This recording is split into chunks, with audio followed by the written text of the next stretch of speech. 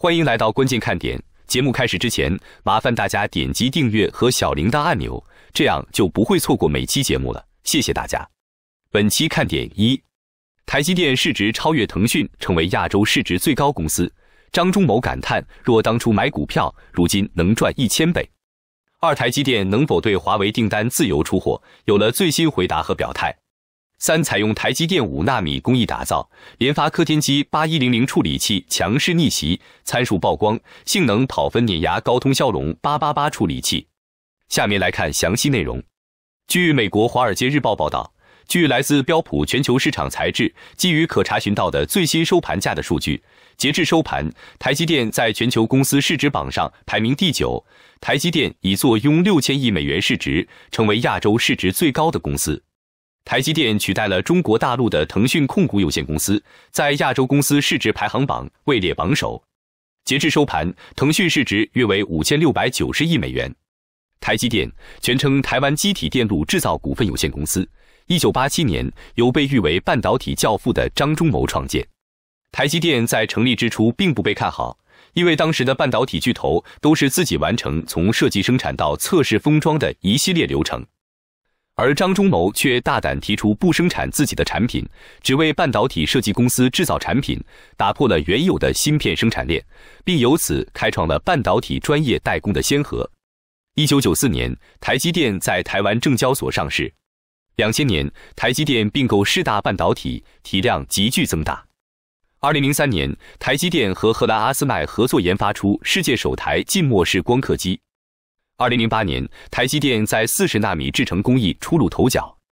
二零一二年，台积电十三点八亿美元入股阿斯麦，拿到先进光刻机优先供货权。随着台积电一步步冲破集成电路线宽造成的生产限制，它的财富帝国也在一点点积累壮大。尤其在全球缺芯的背景下，台积电更成为香饽饽。其二零二一年第四季度业绩显示，受用于电脑和智能手机的芯片需求提振。二零二一年十至十二月销售额同比增长百分之二十一点二，达到四千三百八十一亿台币，约一百五十八点五亿美元。净利润同比增长百分之十六点四，达到一千六百六十二亿台币。销售额和净利润均创下季度新高。二零二一财年的全年销售额增长百分之十八点五，达到一点五八七四万亿台币；净利润增长百分之十五点二，达到五千九百六十五亿台币，均创下全财年新高。今年初，台积电已坐拥六千亿美元市值，成为亚洲市值最高的公司。自去年十二月十五日以来，台积电市值持续高于腾讯，难怪就连张忠谋都要感叹。如果三十五年前成立时就买入台积电股票，如今能赚一千倍。最新消息称，台积电又赢得了苹果所有五 G 射频芯片订单，该芯片最快有望应用于今年推出的新一代 iPhone 十四。下面来关注看点二：台积电能否对华为订单自由出货？有了最新回答和表态。数据显示，华为是台积电第二大客户，每年贡献的营收超三百亿元，仅次于苹果。并且，华为订单增长速度很快，而芯片订单多数都是最先进的制程。但由于芯片等规则被修改，导致台积电不能自由出货。余承东表示，麒麟九千等芯片暂时或无法生产制造了。进入二零二二年后，很多人都关心台积电能否对华为订单自由出货。毕竟，华为面临的主要问题就是芯片，只要台积电自由出货，基本上问题都能解决了。能否对华为订单自由出货？台积电有了最新态度。根据外媒的最新报道，台积电在一份声明中表示，台积电遵守所有适用的法律法规，并完全致力于遵守宣布的新出口管制规定。另外，台积电方面还表示，公司还有一套严格的出口控制体系，包括一个健全的评估和审查程序，以确保遵守出口管制规定。可以说，台积电这样的表态，相当于承认了其目前还无法自由出货。只要拿到了自由出货许可后，其才可以实现对华为订单的自由出货。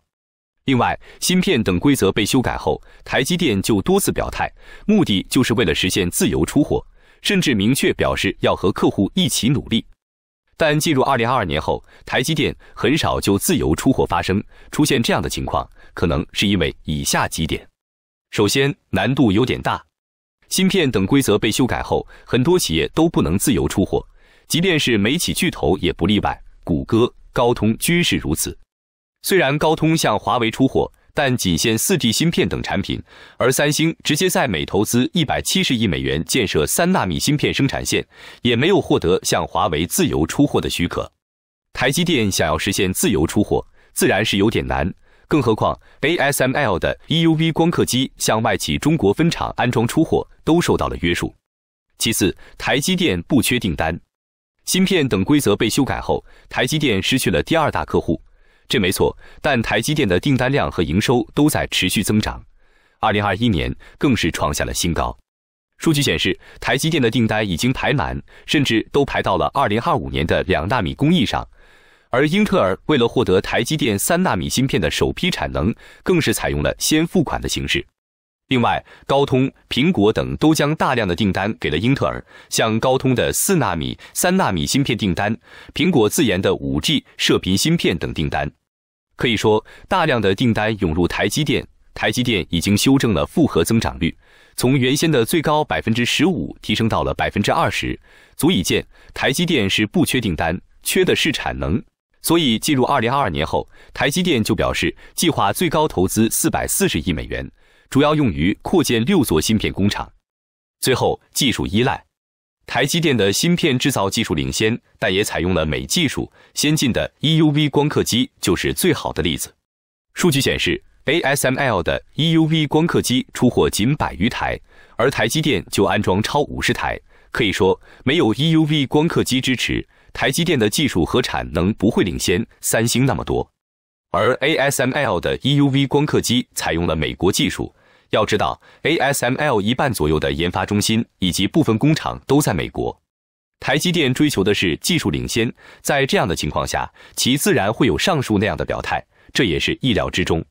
下面来关注看点三：采用台积电五纳米工艺打造，联发科天玑八一零零处理器强势逆袭，参数曝光，性能讨分碾压高通骁龙八八八处理器。目前市面上安卓旗舰处理器发布了两款，分别为高通的骁龙八 Gen E 处理器和联发科的天玑九千。旗舰处理器虽然性能很强，但近几年的价格也高得有些离谱。去年芯片厂商都推出过性价比的次旗舰芯片，性能只比旗舰芯片差一点，但价格却能压到两千元左右的价位段，价格非常的亲民，非常的具有性价比。而今年联发科抱着交个朋友的心态，又给大家带来了两款性价比旗舰处理器。联发科这次带来的旗舰处理器分别为天玑八千和天玑八一零零。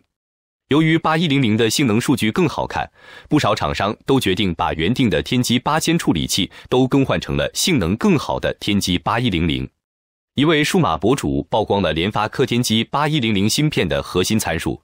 爆料显示，这款处理器采用台积电五纳米制程工艺，拥有四个二点八五千兆赫兹的 A 七八核心和四个二点零千兆赫兹的 A 五五核心，搭配 G 六幺零 MC 六 GPU。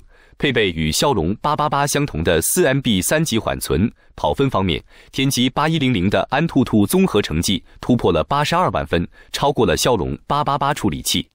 该博主还表示，天玑八千系列放在终端市场很强，量产手机下个月亮相，其他厂商稍晚些也会采用这款处理器。根据此前爆料，天玑八千系列包括天玑八千和频率更高的天玑八一零零。其中，天玑八一零零对标骁龙八八八处理器，天玑八千对标骁龙八七零，此前发布的天玑九千则作为旗舰对标骁龙八战一。本期节目就到这里，祝大家平安健康，别忘了点赞订阅。如果你有独到的见解，欢迎在评论区留言，谢谢大家。